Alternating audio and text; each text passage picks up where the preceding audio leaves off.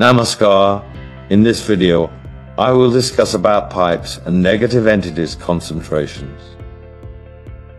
Cities as well as towns in our contemporary world are heavily crisscrossed with below ground pipes, pipelines filled with running water line every street, and also run about as well as via every building.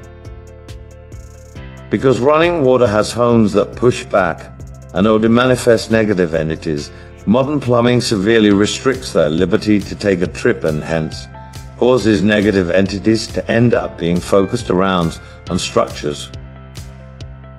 Negative entities would naturally distribute from structures and also populated areas at a much faster as well as healthier rate if it were not for our underground water pipes.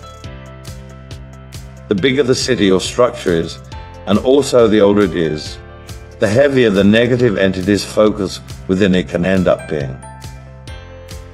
Earthbound negative entities kinds can become trapped inside city blocks or structures.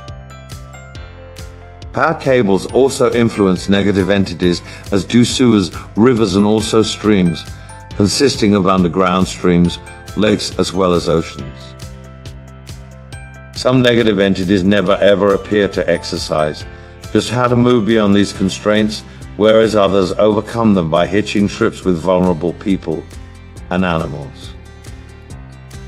These individuals and pets are utilized as shields to carry negative entities over running water as well as other barriers.